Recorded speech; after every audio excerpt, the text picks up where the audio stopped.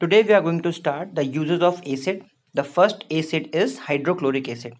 The first point is that it is used in oil industry to dissolve oil bearing rocks. Second to manufacture chemicals such as glue. Third to purify salts and fourth to remove scales that is deposits formed inside boilers in various industries the process is known as descaling means to remove the scales caused by chemical boiling Next use of hydrochloric acid is to make aqua regia. It is the three part of hydrochloric acid mixed with one part of nitric acid which is used to dissolve the noble metals means the least reactive metals such as gold and platinum because they are unaffected by the normal acids like hydrochloric or sulfuric acid. Uses of sulfuric acids are to manufacture the fertilizers such as ammonium sulfate and superphosphate. In automobile batteries it is used to manufacture detergents. It is used to manufacture drugs, plastics, paints, etc. To manufacture several chemicals such as copper sulfate, Epsom salt, etc. And in textile, paper and leather industries, it is used to prepare. So these are the uses of sulfuric acid. Uses of nitric acids are it is also used to manufacture the fertilizers like ammonium nitrate. It is used to manufacture explosives such as TNT and nitroglycerine which are used to make bombs. To prepare aqua regia that we have already studied.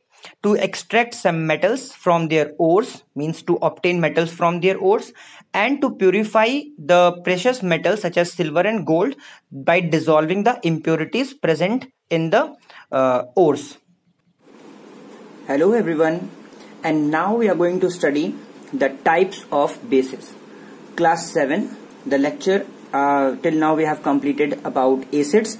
Now we are going to study in detail about bases. So first of all there are two types of bases that are strong bases and weak bases. What are strong bases? These are corrosive in nature. Corrosive means if they come in contact with uh, any substance then they harm that substance. Basically when these substances can uh, if they touch in our on our skin then they can burn the skin also. Okay so these are very corrosive. Uh, examples of the strong bases are sodium hydroxide and potassium hydroxide. Now the weak bases these are not corrosive in nature and can be consumed or used in medication. That we will study in uh, the uses of uh, particular bases uh, examples of weak bases are magnesium hydroxide copper hydroxide and ammonium hydroxide etc now let's talk about the properties of the bases first of all we will take the physical properties. These are hydroxides of metals generally okay like already you have seen here magnesium hydroxide copper hydroxide these are metals. Sodium hydroxide potassium hydroxide these are also metals. Okay so generally they are uh, metallic hydroxides. Uh, this is the case of ammonium hydroxide. Uh, about this i will explain in the at the last of this lecture that um, this is not a metal right? Ammonium. Second point of physical property that is these are bitter in taste. Like uh, acidic substances are sour in taste. Uh, the bases are bitter in taste. Bitter means uh, means you can say that uh, like uh, these are kadwa in taste or you means the taste is not good.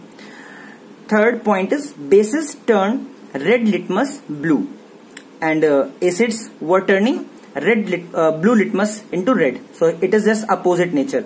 Bases turn red litmus paper into blue fourth point is they have soapy feel. Means if we touch the bases like uh, if it is in the powder state if the, you take some powder you put some water in your hand and you make a solution then that solution will feel like a soap solution right?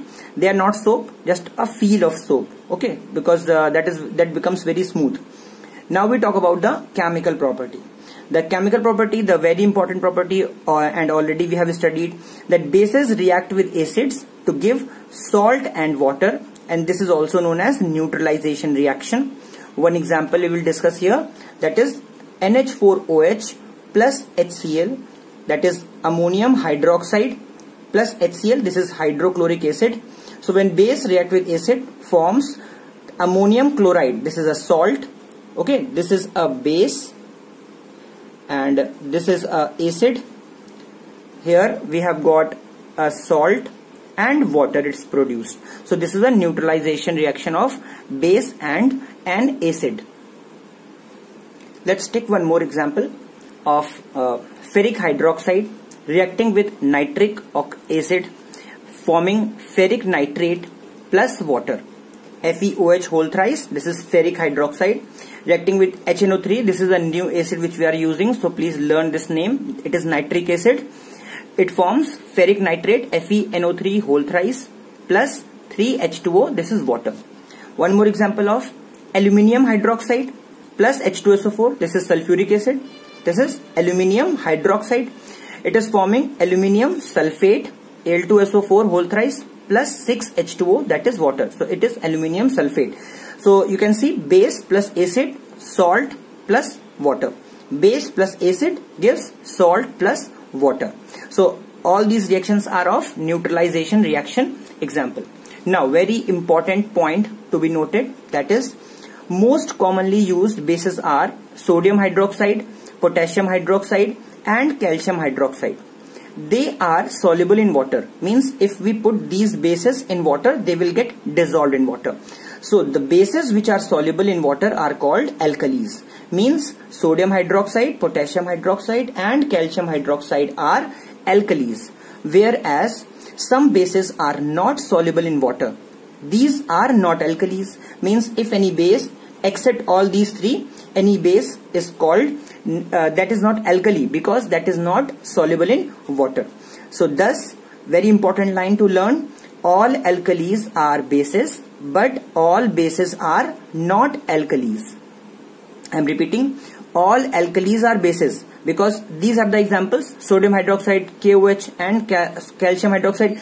These are alkalis but these are bases basically okay? Means alkali alkalis is a category in the bases only right? So all alkalis are bases but all bases are not alkalis.